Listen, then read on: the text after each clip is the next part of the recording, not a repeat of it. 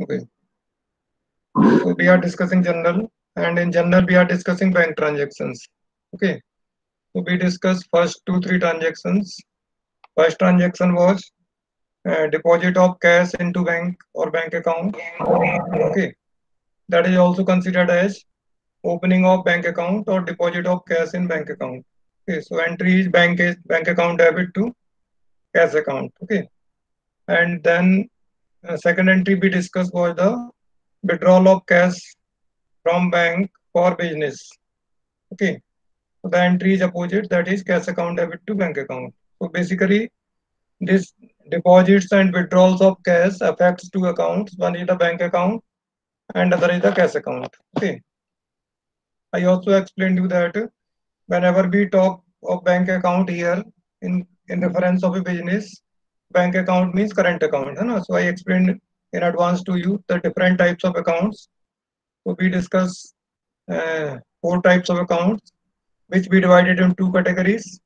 Two are called demand deposits and two are called uh, time deposits. Hai Demand deposits are uh, savings account and current account because amount deposited in these two accounts is payable by bank on the demand of the customers. Means it, can be withdrawn at any point of time by the customer. That's why they are called demand deposits.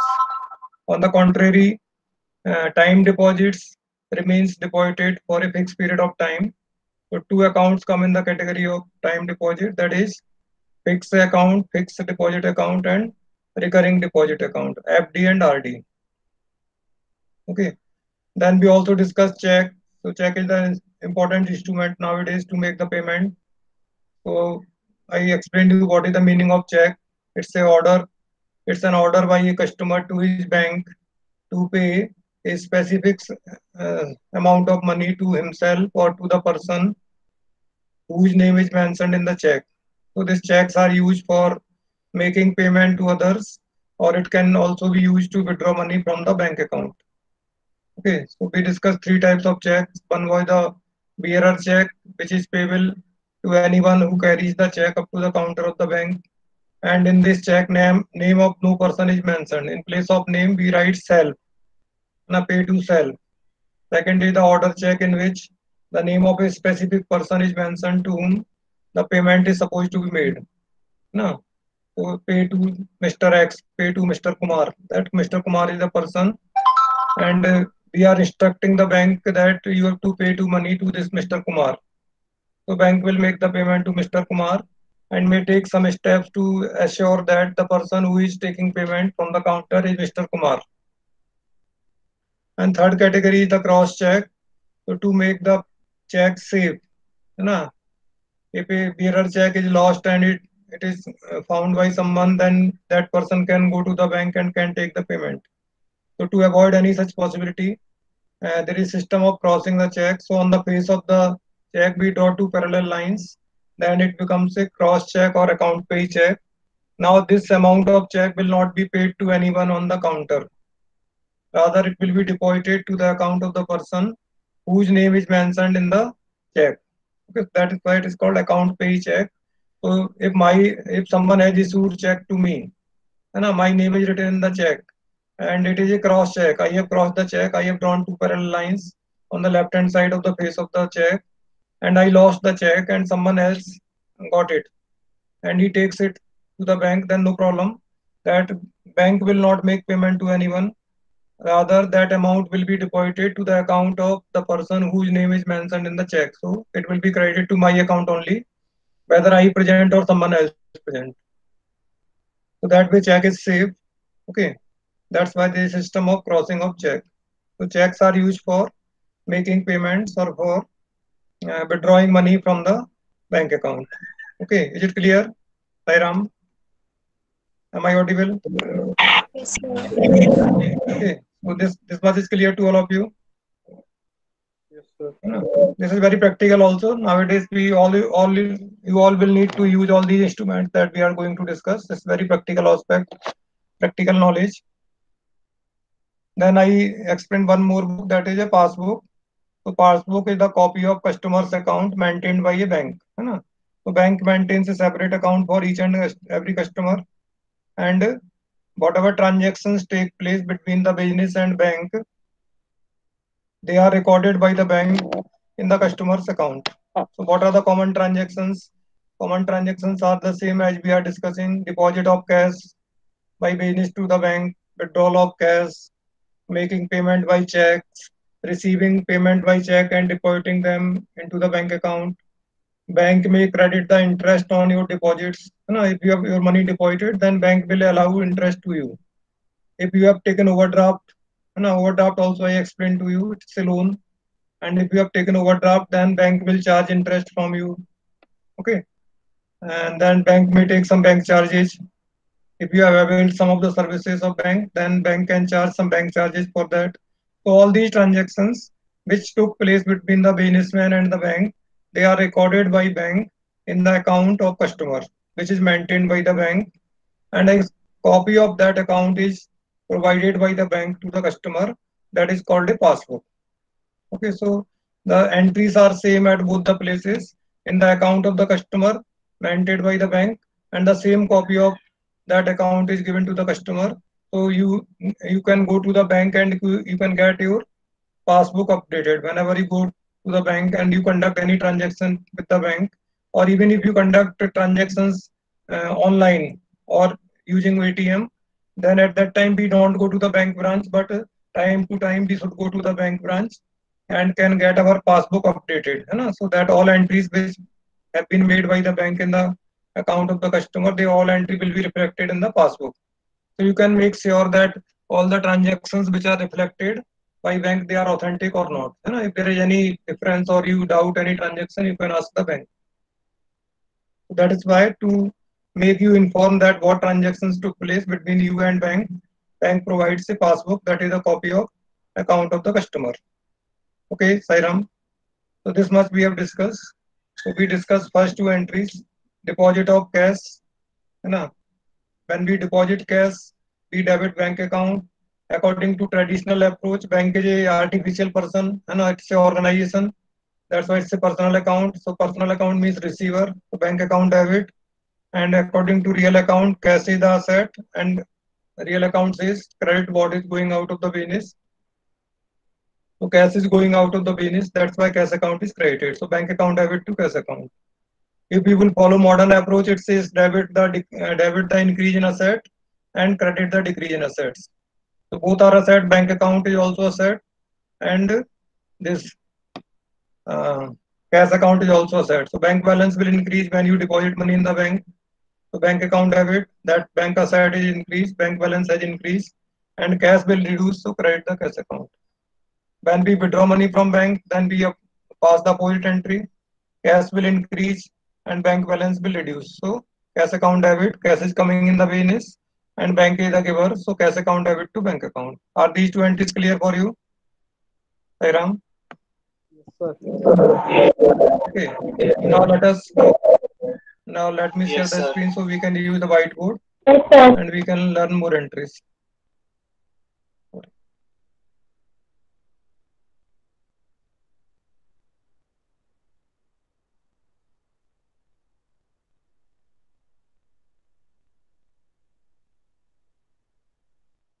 Okay, is it visible to you?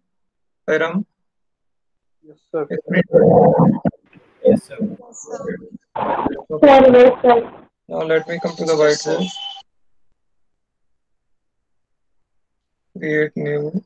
Now I have come to the text.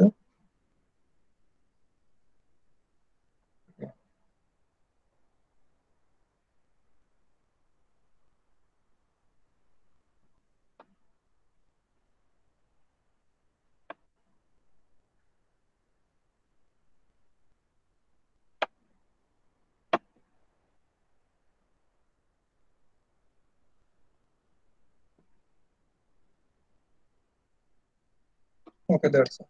Oh, oh, oh, come down, come down. Okay. अरे भाई. Okay, now that's all. So now let us see what we are discussing. We are discussing bank transactions. No, the transactions which take place between bank and business. So first transaction we discussed. What is the first transaction? Deposit of cash into bank. Okay, this is the first transaction. Entry is bank account debit.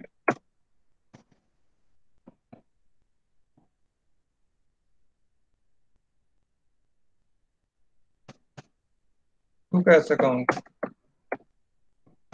This is the first entry with which uh, relationship between bank and business begins. So when we open the account, we need to deposit some money, minimum amount. I have already explained without depositing minimum amount, we cannot open the account. So for every account, there is a minimum limit. Okay, except uh, Jandan accounts which are opened by the government, zero balance for poor people. And businessmen are not poor people. That's why they have to deposit some money to open the account. Second is the withdrawal of money, withdrawal of cash from bank for business. Now there is a confusion in some transactions. This withdrawal of money from bank may be for business purpose or for um, personal, you know, personal use. If it is personal use, then it will be drawings, you know. So uh, if it is mentioned withdrawal of cash from bank, it means it is for business. Nothing is mentioned. And until it is mentioned for personal use, we will assume that this money is taken for business only. Is it clear? So withdrawal of cash or withdrawal of money from bank, if it is mentioned for personal use, then only we will treat it as a drawings. Otherwise, it will be treated as this money is withdrawn from the bank for business. Okay, so entry will be cash account debit to bank account.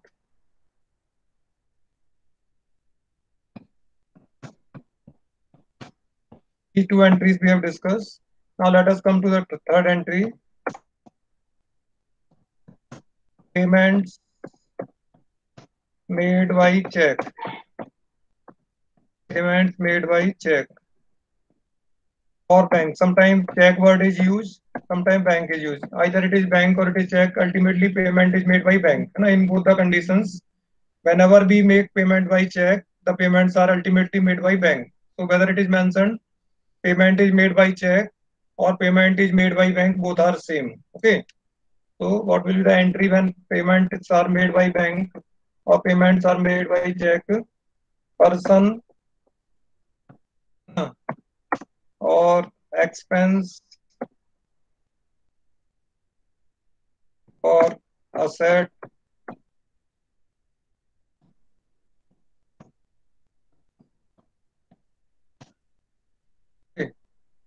account debit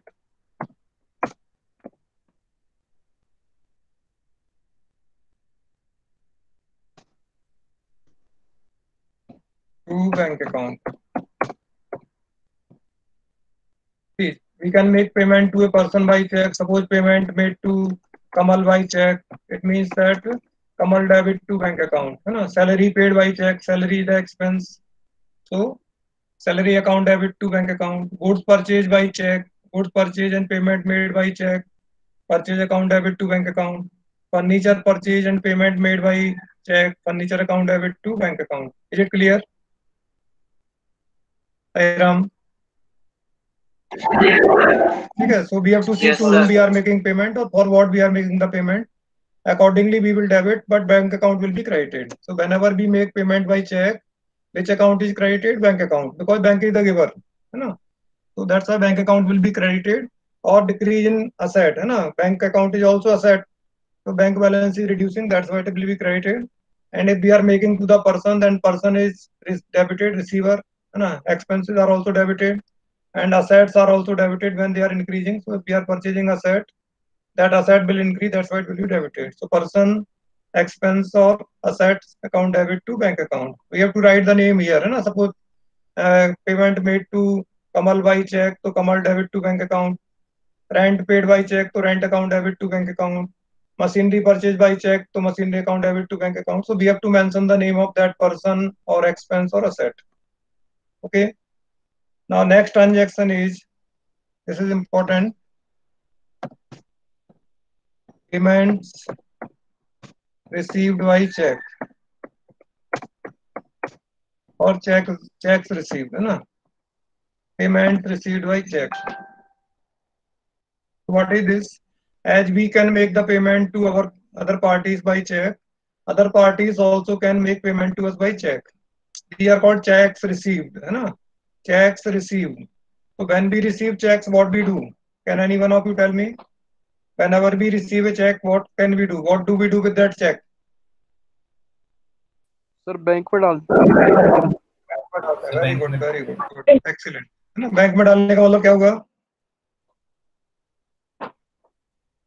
देखिए some of you will have very uh, practical knowledge of this subject because if you are related to business family or some that will be a different issue है ना अभी तक tenth तक आप क्या करते रहे वो डिफरेंट है उसको भूल जाइए टेंथ तक आपका परफॉर्मेंस कैसा था वो अलग चला गया वो बात खत्म हो गई अब जो पढ़ रहे हैं, एक नया सब्जेक्ट है, नई अप्रोच है, नया लॉजिक है ना? Some some of you may not have been very good in studies up to tenth standard but may change that what we say image and you will come up with very bright what we say है ना? So that forget what is percentage in tenth standard that is over but now you are studying in new thing and some of you may have better ideas may be in touch with all these things so they will have better ideas about all these things okay तो uh, this when we receive a check what do we do with that?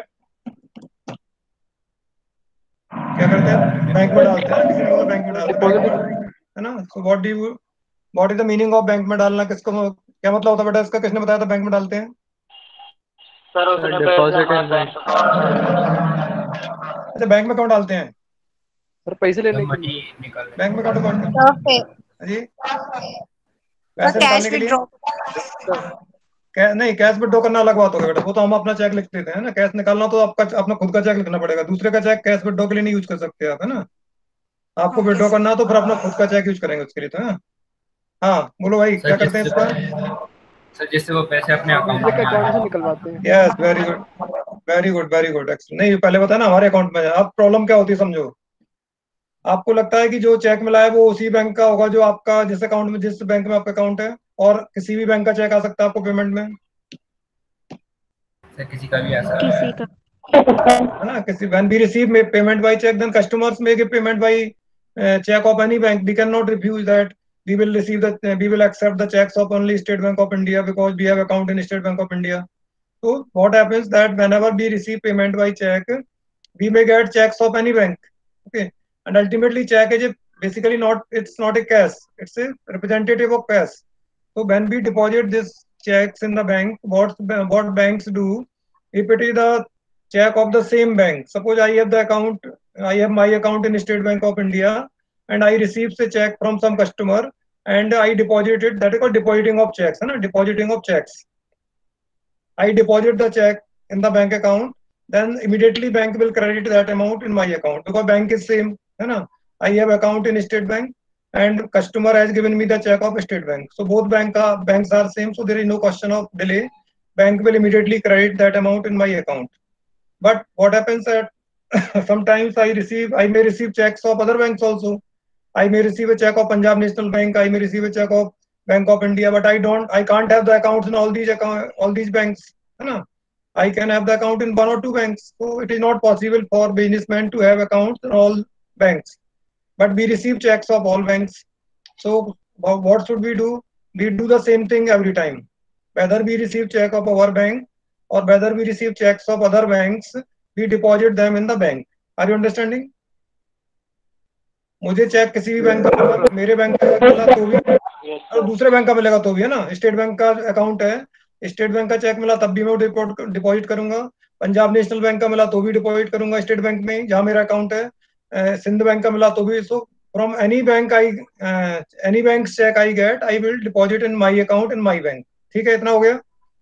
Then my bank will collect this money from that bank bank में होता है, उसको reconciliation बोलते हैं। There is process in bank that is called reconciliation है ना? तो bank will sit together and will settle the cheques वो प्रोसेस हम बाद में समझेंगे। सो बैंक आप तो इतना समझो कि आपका जो चेक था, आपको जो मिला, आपका बैंक है स्टेट बैंक ऑफ़ इंडिया आपको बैंक में आपको चेक मिला था वो पंजाब नेशनल बैंक का था। आपने अपना चेक कहाँ डिपॉजिट किया? किस बैंक में डिपॉजिट किया?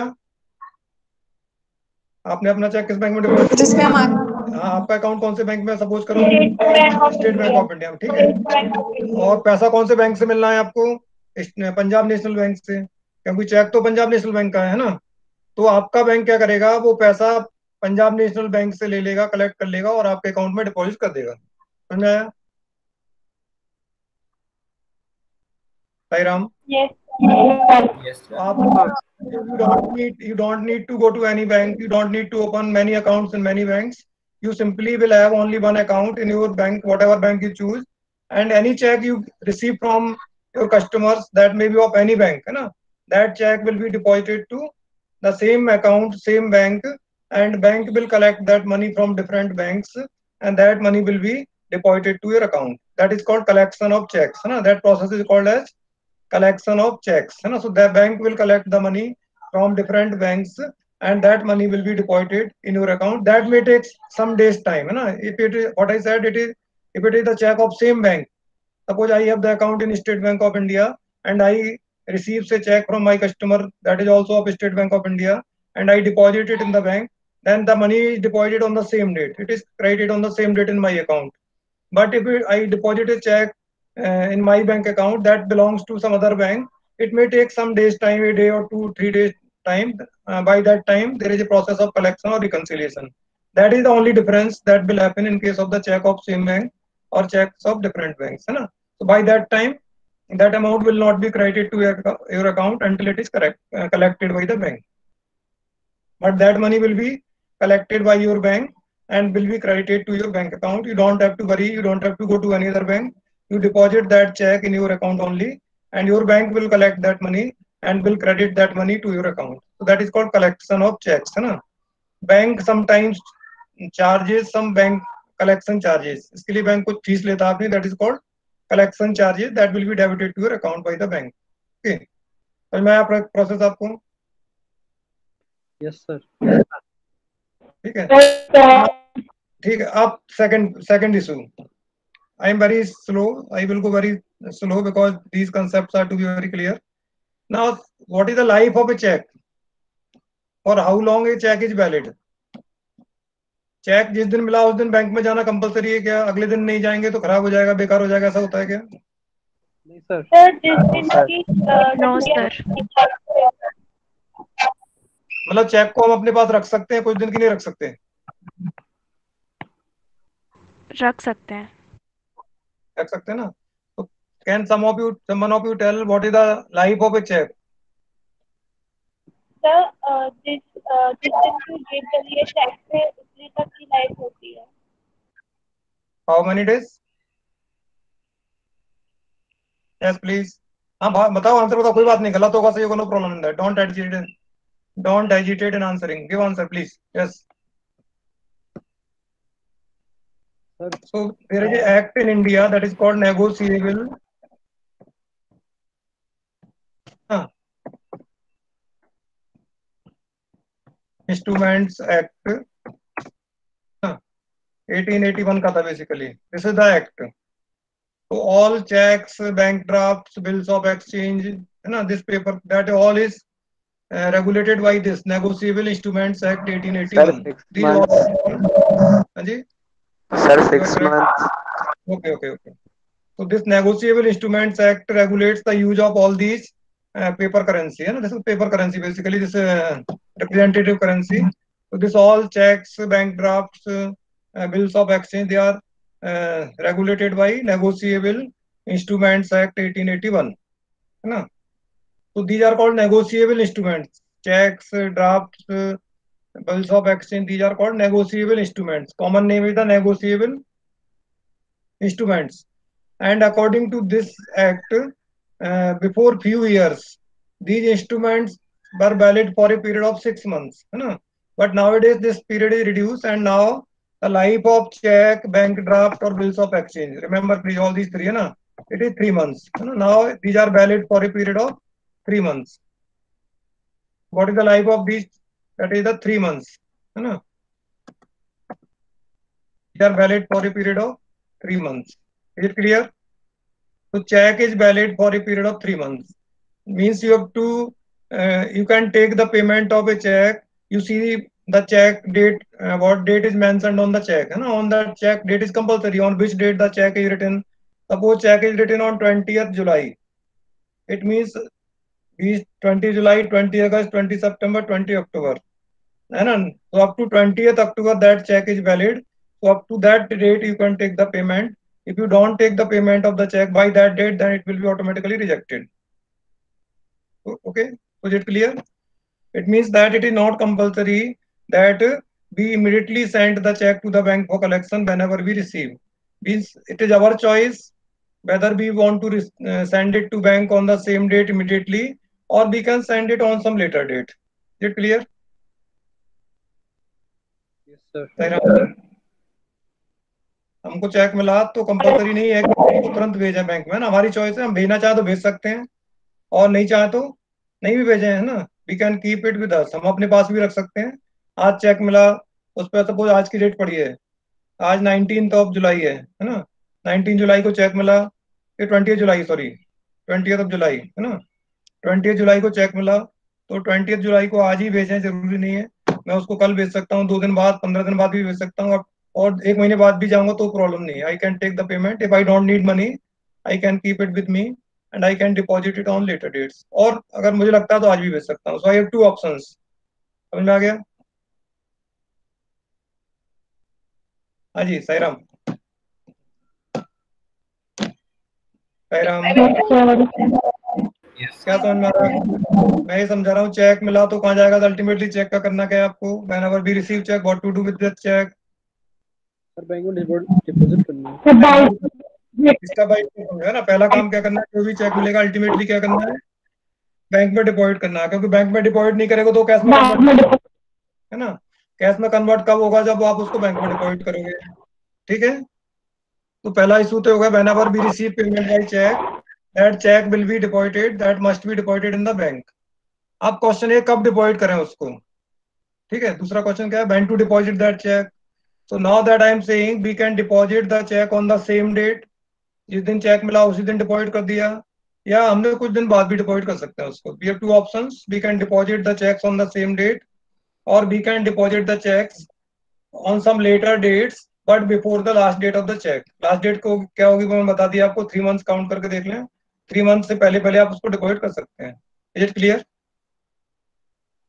yes sir ठीक है?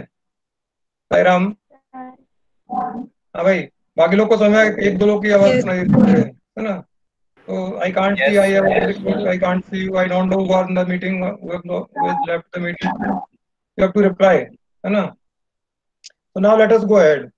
Okay so whenever we receive check when we make payment by check no problem. Simple entry is passed this entry single entry. That is a uh, person expenses or set account debit no no problem here we have two issues. What are the two issues? Whenever we receive a check or payment by check then we have two options. What what are the two options? Check is deposited. The bank deposited or oblique को technical word है sent to bank for collection this technical word है ना sent to bank for collection why we are sending it to bank for collection? So that money will be collected by the bank and it will be credited to our account है ना common man से check डाल दिया bank में. अभी किसी ने बोला ना बिज़नेस मैन की लैंग्वेज है वो चेक डाल दिया क्या बैंक में? अब वहाँ जाओगे तो वही लैंग्वेज यूज़ होती है बिज़नेस में। तो चेक डाल दिया क्या? या चेक डिपॉजिट किया, क्या चेक डिपॉजिट करना नहीं बेसिकली वो क्या होता है टेक्निकल वर्ड है cheque send to bank for collection ठीक है? चेक इज़ डिपोजिटेड और send to bank for collection on the same date on the same date same date means the date on which it was receive the date on which it was received so today we receive a check and we send it to bank for collection on the same day. Today itself it, be, being sent. Then the NP will be bank account debit.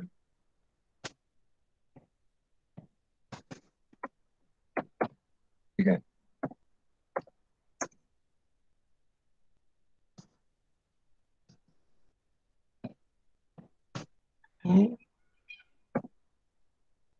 Customer हाँ जी sir क्या मिला आपको।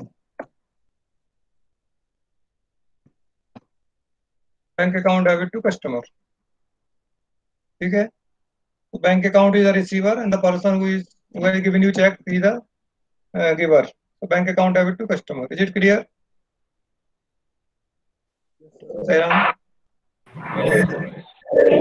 ठीक है? तो this the first condition if we receive a cheque and on the same date we send it to bank for collection then we have to pass only one entry that is bank account debit to customer second case may be there the check is deposited or sent to bank for collection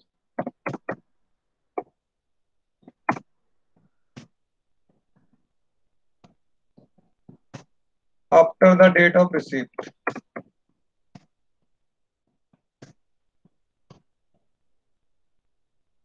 ठीक है? उस दिन नहीं जमा किया आपने same day नहीं भेजा उसको, उसके बाद कभी भी डिपॉजिट किया बट लास्ट डेट क्या होगी वो बता दिया मैंने थ्री मंथ से पहले पहले कभी भी आपने भेजा, ठीक है? In that case we have to pass two entries if cheque is not deposited to bank on the same date in that case we have to pass two entries it will the two entries number 1 on the date of receipt.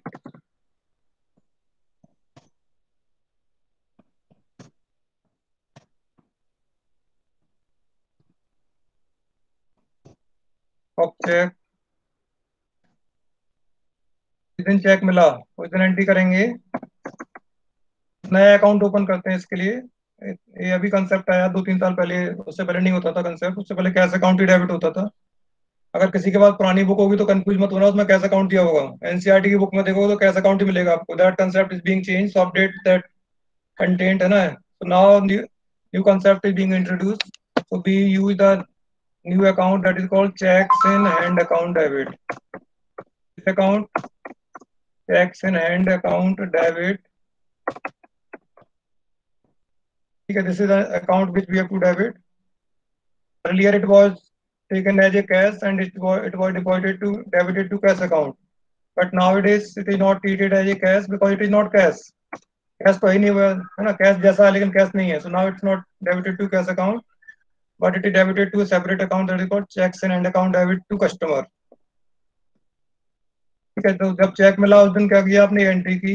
अगर उसको deposit नहीं किया तो entry करनी cheques and account debit to customer and ultimately what we will do ultimately we have to deposit कभी ना कभी तो डिपॉजिट करोगे इसको, एक दिन बाद, दो दिन बाद, दस दिन बाद। जब डिपॉजिट करोगे तो फिर दूसरी एंट्री करोगे। On the day of deposit of check, into bank ठीक है? Entry will be bank account debit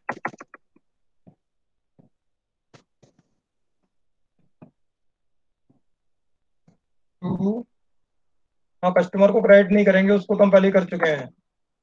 double credit हो जाएगा। हमने कौन सा अकाउंट डेबिट किया था पहले अभी?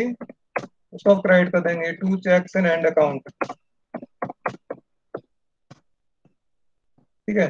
This will be the entry clear तो जिस दिन चेक मिला है दस तारीख को चेक मिला तो दस तारीख को एंट्री करेंगे। Cheques and hand account debit to Ramlal Ramlal से चेक मिला तो। पंद्रह को डिपॉजिट किया तो पंद्रह को एंट्री करेंगे। Bank account debit to cheques and अगर इसको आप क्रॉस करेंगे तो क्या एंट्री बचती है? देखो दोनों एंट्री को क्रॉस करके देखो। ऊपर की एंट्री में कौन सा अकाउंट डेबिट है? Ram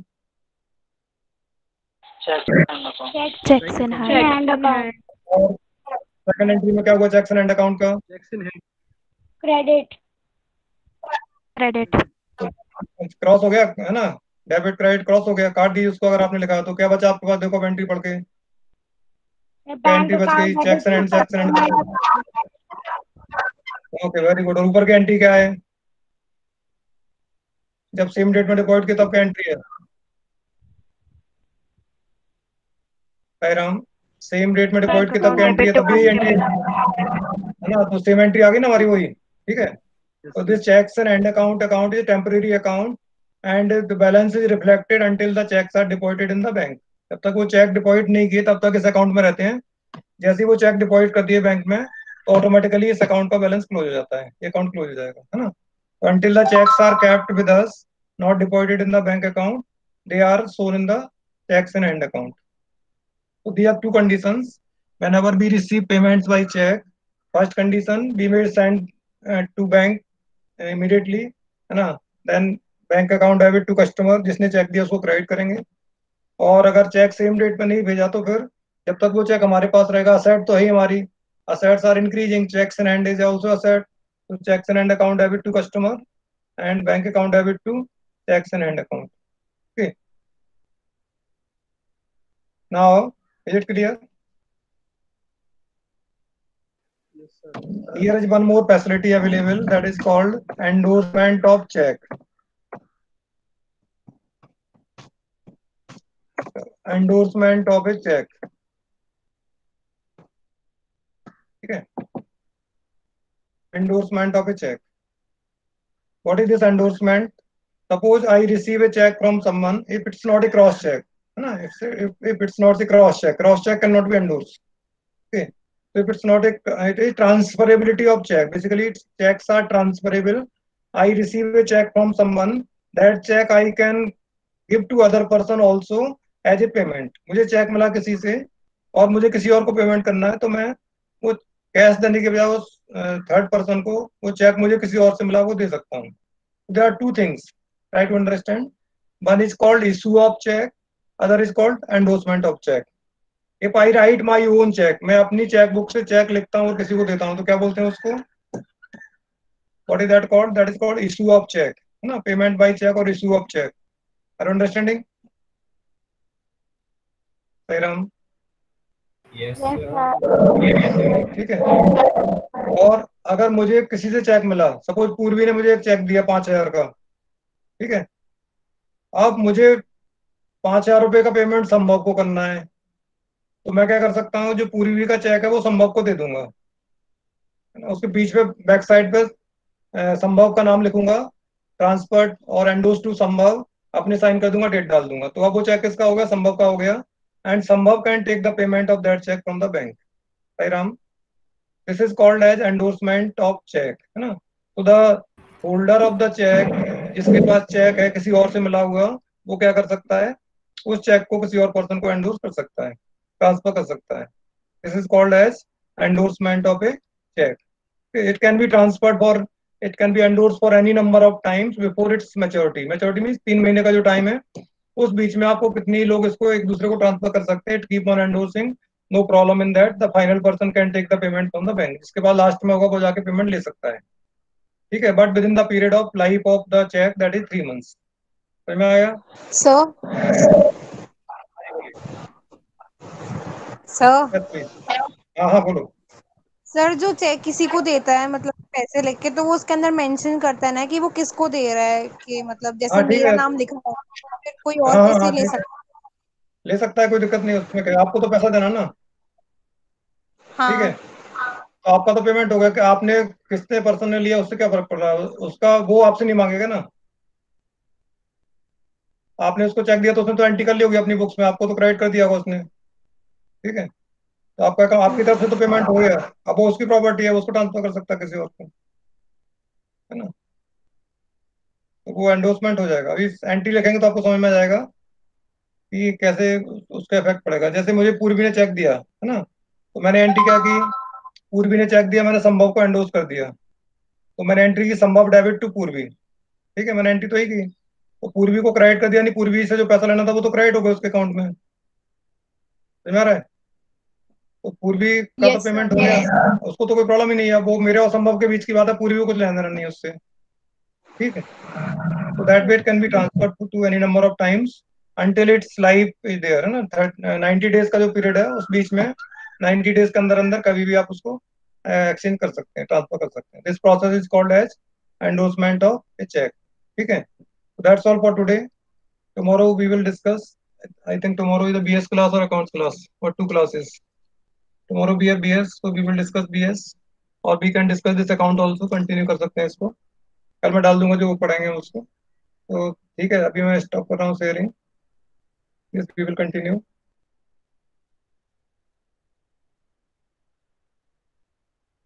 i have come back okay so now if you want to ask anything you can ask otherwise you can leave